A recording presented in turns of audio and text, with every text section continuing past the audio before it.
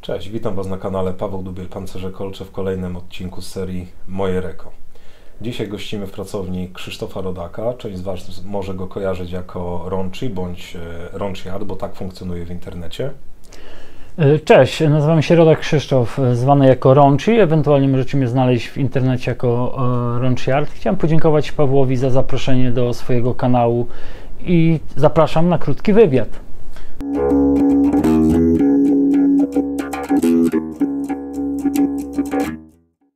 Dobra Ronchi, to jest film w serii Moje Reko, więc powiedz mi pierwsze pytanie.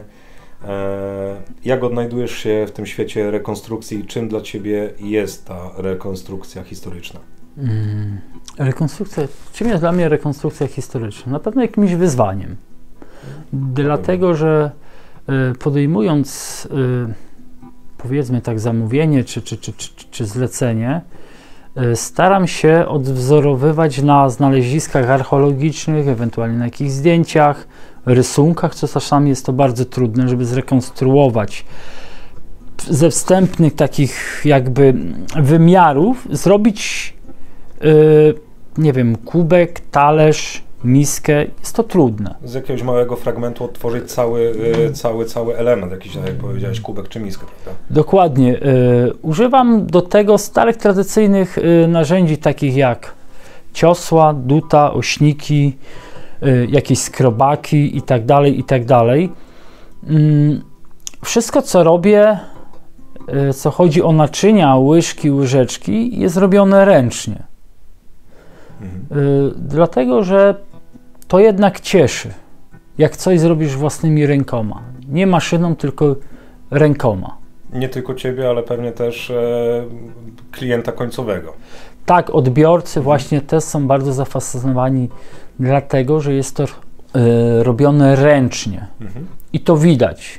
Ja na przykład, jako człowiek, który już kilka grubych lat się zajmuje tym rzemiosłem, widzę, e, a czy mam rozeznanie, co jest robione maszynowo, później poprawiane dłutem i mówione, że jest zrobione ręcznie Od samego początku. od samego początku, a co jest robione yy, maszynowo i ręcznie to widać. Ja to widzę, wezmę, wystarczy, że zobaczę, porównam i ja już nie muszę dotykać, yy, wąchać, yy, wsłuchiwać się i tak dalej, bo to wszystko widać. Jasne. Powiedziałeś, że od ładnych e, kilku lat, powiedz mi, e, właściwie mi nie, e, powiedz, e, powiedz nam, jak, e, jak długo e, się zajmujesz e, tą rekonstrukcją i rzemiosłem.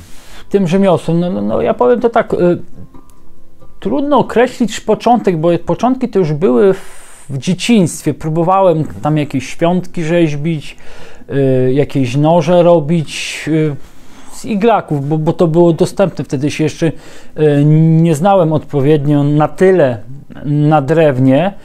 Y, I takie początki to były dzieciństwo. Później to wiadomo odeszło do lamusa i na mojej drodze pojawili się pewni ludzie, którzy też byli związani z drewnem. Na przykład mój dobry przyjaciel Bogdan Popek, on mnie najwięcej wtajemniczył, bo zaczął mi mówić, jakie drewno można obrabiać, które jest rezonansowe, które jest miękkie, które jest twarde.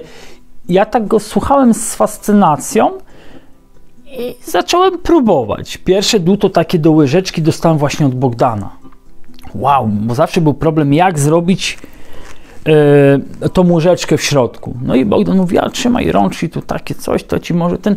I próby, próby, próby. No na początku wiele rzeczy udało mi się zepsuć. Jak każdemu, kto zaczyna e, takie coś robić, no ale później krok po kroku Bogdan miał dostęp do materiału, więc mi też podrzucał ten, e, ten materiał, żebym tam mógł sobie coś dubać, próbować, no a w międzyczasie ja zacząłem już zdo- zdobywać ten materiał, bo już wiedziałem jaki, jaki mam obrabiać, ile sezonować.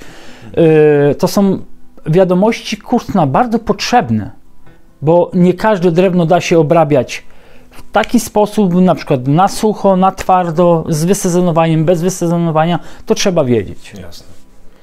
E, Okej, no to w takim razie jak to się zaczęło, e, odpowiedziałeś e, wyprzedzająco na pytanie. E, fajnie i e, zaczęło, zaczęło się to jako hobby, nie? tak sam, sam nawet powiedziałeś. I da, do, te, do tego momentu to jest tylko hobby, czy również praca, albo czy tylko hobby, czy tylko praca, czy jedno i drugie? A czy wiesz, no bardziej hobby bym powiedział, yy, bo nie chcę, żeby to się stało jakby tak, taką pracą, że wstaję rano typu idę i 8 godzin robię to samo. Mhm. Chociaż się zdarzają, yy, zdarza taki czas yy, w roku, że ludzie chętnie chcą nabyć albo jakieś dziwne zamówienia składają, więc lubię wysoko sobie stawiać poprzeczkę i realizuję te, te takie dziwne zamówienia. Dziwne zamówienia. E, no okej, okay. ale czyli dalej to jest e, dalej to jest zarówno praca, jak i hobby, czyli e, praca przez hobby, tak? Tak. I czy w takim razie mm, jest dobry sposób na biznes? Czy można na tym powiedzmy jakieś, jakieś wymierne pieniądze zarobić? A czy jest tak, e, można, tylko ja tego nie traktuję jak, e, jako biznes, mhm. tylko jako hobby, gdzie przy okazji mogę zarobić sobie e, jakąś kasiutrę. Przy okazji, to jasne. Mhm.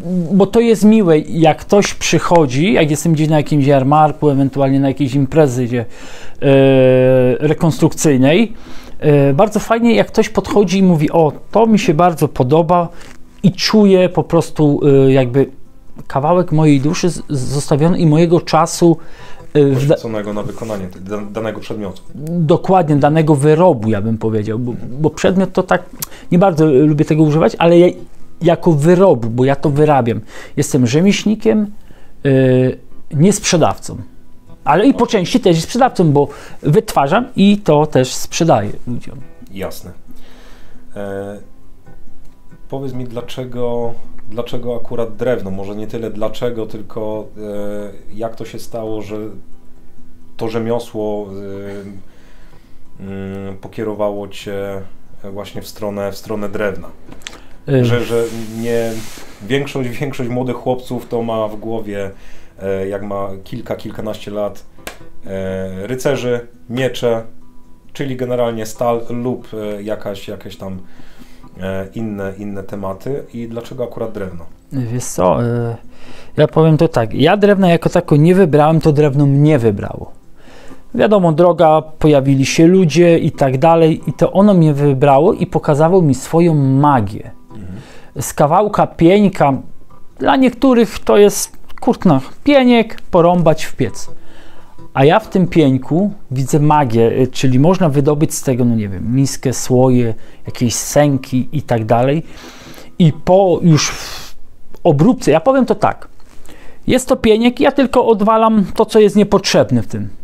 I z tego, co zostanie, to już wychodzi dany wyrób, yy, dany przedmiot, który sprawia przyjemność ludziom no i po części i mi.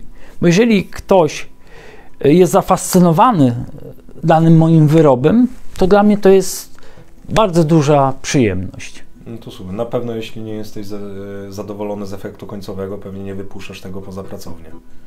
Yy, wiesz co, staram się to dopracowywać. Czasami yy, samo wykończenie najdłużej trwa najdłużej trwa, bo, y, bo czasami mnie drażnią gdzieś tam delikatnie zadziorki i tak dalej, chociaż na przykład po ośniku zostawiam zadziory, żeby to było widać, że to jest robione ręcznie, że jest jakaś tam ukryta też toporność tego. Bo, bo my sobie możemy iść do, y, do, sklepu, kupić toczone miski i tak dalej, i tak dalej, gdzie one są wygładzone, wypolerowane, wychuchane tak, że mucha nie siada. Jasne. na tej no, zasadzie. fajnie, fajnie jest jednak jak e, widać e, tą pracę e, włożoną, gdzie widać każdy, może nie każdy, bo, bo część na pewno nie, ale jakąś tam część tych ruchów, ośnika, duta i tak dalej na drewnie. No dokładnie, no ludzie dzisiaj tego szukają po prostu, wiesz, nie takich szablonowych rzeczy, tylko coś oryginalnego. Tylko coś oryginalnego, dokładnie. Super. E, jak oceniasz swój rozwój, jako e, rzemieślnik? Chodzi mi od samego e, początku, powiedzmy tej dorosłej, dorosłej drogi rzemieślniczej. Jakie postępy poczyniłeś w tym rzemiośle i czy są jakieś projekty, które chciałbyś jeszcze zrealizować? A czy wiesz, jaki jest mój postęp? E, na pewno na początku, jak zaczynałem, to, to, to było to, to takie toporne, faktycznie takie. Początki są trudne, na pewno. Początki, mhm. tak jak każdy, błędy popełniałem. Yy, yy, nie, nie, słuchałem drewna przede wszystkim. Kawałka drewna, którego miałem w dłoni, obracałem, ja starałem się e, robić tak, jak ja chciałem. To drewno mi e, dyktuje, jak ono ma już, jaki ma być końcowy etap danego wyrobu. Mhm. I nie słuchałem, więc często zdarzały się, wiesz, i zacięcia, i co chodzi o moje dłonie, e, i, i, i po prostu w trakcie pracy coś się łamało i tak dalej. Teraz już z perspektywy czasu już mam rozeznanie i świadczą o tym chyba coraz więcej chętnych na moje wyroby. A, Bo, czyli cieszą się też Twoje wyroby coraz większym zainteresowaniem. Dokładnie. Ludzie po prostu chcą je mieć, bo im się podoba, bo jest kształt nieregularny, wszystko jest powiedzmy podobne, ale nie takie samo. Mhm. Czy na przykład talerz, miska, czy łyżka, czy inny wyrób, one podobnie wyglądają. Ale nie są identyczne. Ale nie są identyczne. No dokładnie, to charakteryzuje ręczną pracę. E, Okej, okay. a powiedz mi właśnie jeszcze, bo to druga część pytania gdzieś zagubiła się, długie pytanie, dlatego ja też o tym zapomniałem. E, czy są jakieś projekty, które chciałbyś jeszcze zrealizować? Jakie jest Twoje, powiedzmy, takie zawodowe marzenie? E... Jest, są, są, jest wiele projektów, e, materiału jest sporo. Jak zawsze bywa w tej kwestii mało czasu, bo są inne ważniejsze obowiązki i, i, i, i tak dalej ale chciałbym łączyć y, drewno z metalem, y, powiedzmy nawet i z plastikiem, ale to w umiejętny sposób. Y, żeby nie zakłóciło to, to harmonii, bo jakbym stał cały czas w miejscu i robiłbym tylko łyżki i miski, to cofałbym się. No tak, no kto się nie rozwija, ten się zwija. Możemy to zauważyć na zasadzie zespołów muzycznych. Oni jakby tak stali cały czas to samo by klepali, no to by to nic nie było. Ewoluują, tak jak i ja. Wiadomo, yy, yy, coraz starszy jestem, mam inne patrzenie na pewne rzeczy. Yy, już się nie boję jakby eksperymentować, czyli łączenie yy, metalu yy, z tym, z drewnem. Mhm. Też, też chcę pójść yy, w, tak jakby w recykling znajdywać y, różnego rodzaju rzeczy na złomach, śmietnikach itd. Tak i dawać im drugie życie poprzez dodatki, ewentualnie one będą dodatkami do drewna. Drewno może być dodatkiem, ewentualnie te rzeczy z recyklingu, mówiąc najprościej, mogą być dodatkami do drewna żeby drewno w, dalszy, w dalszym ciągu było podstawą tego projektu, tak? Podstawą, mhm. ewentualnie też i dodatkiem, bo, bo, bo też i mhm. tak można. Nie możemy się zamknąć wieży, że tylko drewno i ciudy tam jakiegoś elementu, który tak naprawdę będzie czasami pasował jak pięść do nosa. Ale możemy iść dalej. Jasne. E, Okej. Okay. To było ostatnie pytanie na dzisiaj. E, trochę mało. Jeśli jeśli pozwoli na to czas oczywiście, e, postaramy się zrealizować jeszcze z, z e, kolejny albo kolejne filmy, kolejny film lub, lub tych filmów więcej. Być może zaprezentujesz narzędzia, techniki o, wykonania? Oczywiście, jak najbardziej. Jeżeli będziecie chętni, to z Pawłem spotkamy się, pokażemy Wam e, narzędzia, omówię narzędzia, omówię drewno, którym się zajmuję. E, mogą powstać filmiki, jak, co się robi, jak się pracuje narzędziami. Jeżeli będziecie tylko chętni, to jak najbardziej. Łapki w górę i, i do przodu. Przy okazji właśnie e, ośmielę się poprosić o e, łapkę w górę, subskrypcję, komentarz być może. To jest bardzo fajne, to jest bardzo miłe. Udostępnienie. E, i jakieś miłe słowo dla Krzyśka.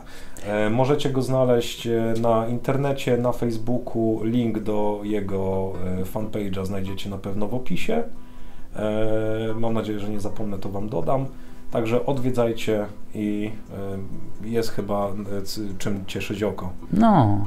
I tak, i nie zapomnijcie o takim dzwoneczku jeszcze. Że, tak, żeby być na bieżąco. Dokładnie. Także zapraszamy na następne e, E, filmiki, odcinki, nie tylko moje, ale i również innych rzemieślników, także pozdrawiamy i kciuki, łapki w górę.